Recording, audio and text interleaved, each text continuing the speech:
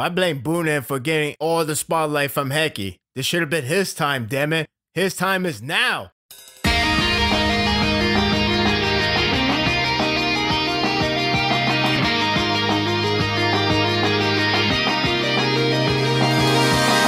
Sometimes you just can't get an easy win.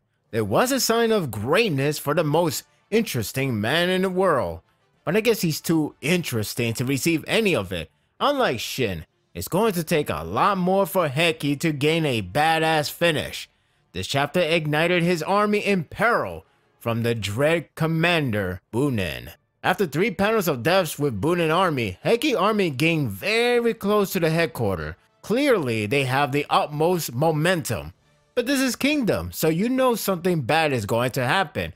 The scene plays out like an extended version of the last chapter's ending, only this time, the hype has realized Heki is still the underdog despite being very close to Bunin, but he has grown great confidence that he and his men can succeed.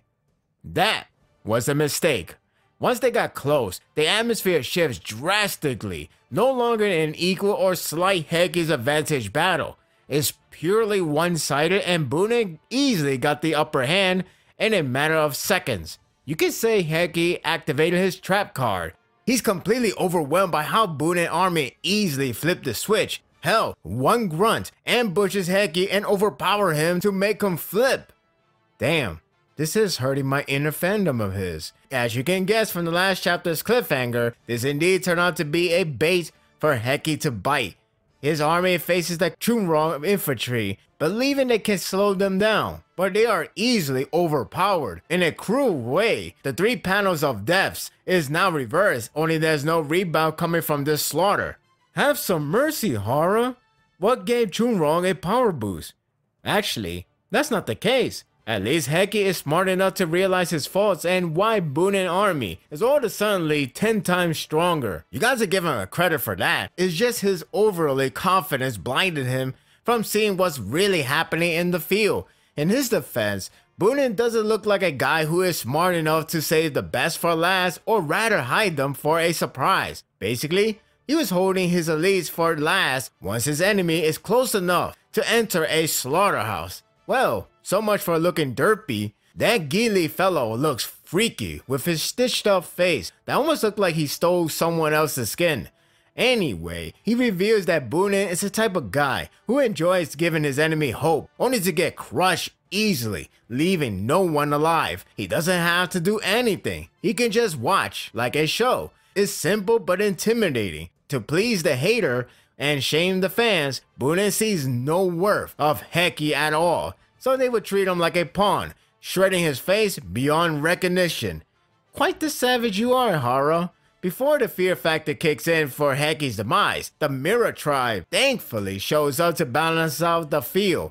If you want a fierce entry, take note, Heki. They were stationed on the right flank, but here they are, killing and essentially saving Heki army. Even though Kitari denies it, but whatever. So long the man of the hour lives for another chapter, I'm fine with that. Despite the depressing showing of Heki in combat, better redeem Hara. I do have to credit him for analyzing the situation clearly. While his men were having a hard time to describe the battle like the Mera Tribe is losing, or they're more or less equal. Heki can see that they have the advantage because of Katari and Katari leading their men. It got to the point that Bunin no longer enjoys laying back, now entering the battleground.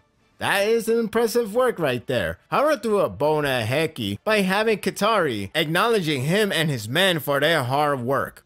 How charming of her. I'll take it. She does give them a credit for keeping it up, so it's not like his work went in vain. Besides, he fought against actual Chunrong cavalry, just not the elite level, that's all. She and her brother really have grown on me. I seriously hope this portion of the battle doesn't kill them.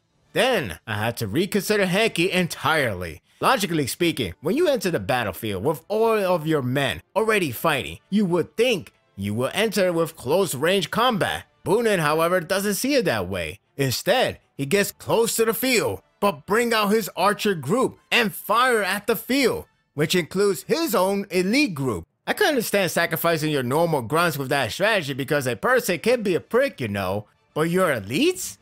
I guess he is derpy. It's not really a bad strategy, but it's rather unorthodox considering who's involved. The only bad part is this attack can easily aim for the Mera tribe since they're busy struggling with the Chunro infantry, which means there's a good chance the siblings will be open in the field for a kill. Since Heki is out in the field and so Bunin and his attack, now it would be a good time to aim for the head. I want him to get his first major kill, damn it. This was a pretty decent chapter that set up the ground for a spotlight. I'm not sure it would be Heki's time or not, but it's right there. Bunin does pose a threat, leaving me wondering if we will see the other brothers in action as well. The art is pretty solid with great emphasis on the magnitude of the battle. It won't be long now before the rise of Heki will emerge.